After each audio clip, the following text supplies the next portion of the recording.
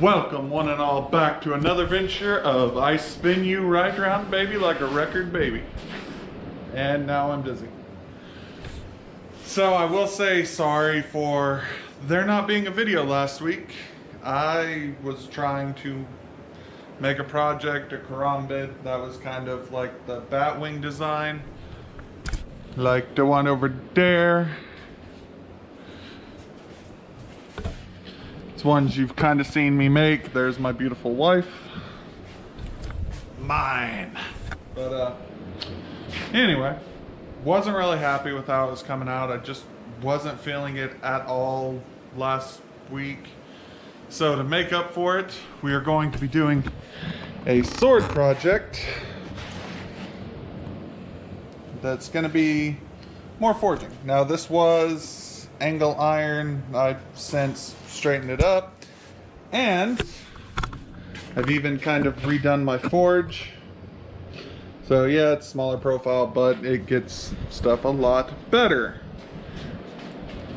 So we are going to be doing a mixture of forging and kind of grinding some of this off and making a sword that I am happy with.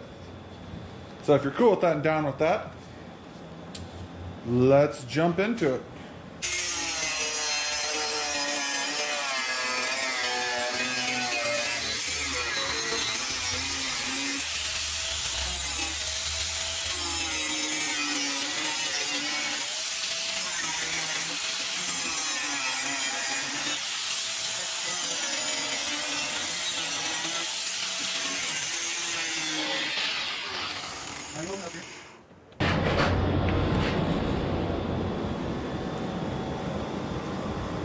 Now it's just getting the blade how I want it to look.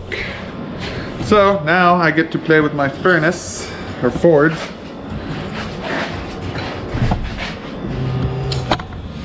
So I will be back.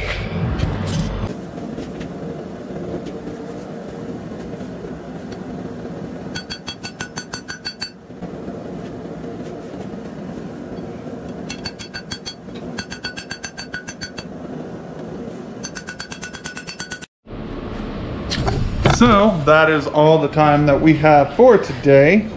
And overall, got a nice little profile. I still got a little more to clean up like those, which those will be easy to grind off.